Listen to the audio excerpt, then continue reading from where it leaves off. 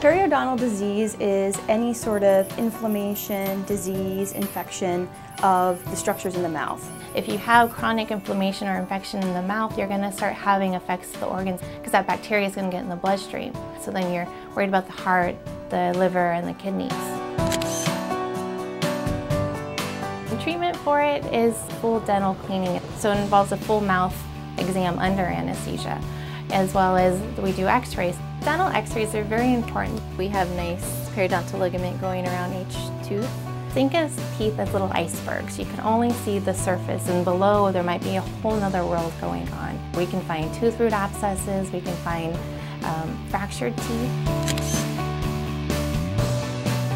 The first thing, we want to make sure that the animal is healthy for the anesthesia. So a full exam is done and then a full blood panel. We cater the anesthesia and the drugs that we use to your pet.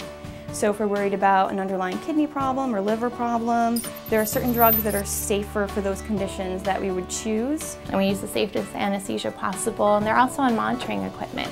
Um, monitoring their blood pressure, their heart rate, their how much oxygen they're intaking, make sure their everything's going well.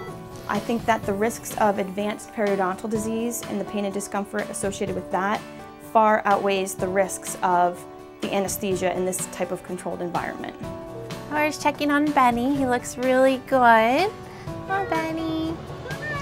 After dental cleaning, most dogs will go home and they actually will start eating better.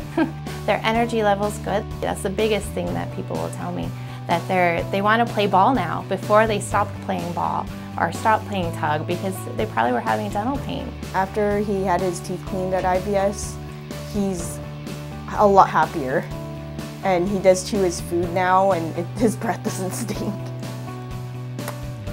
Oh, good boy.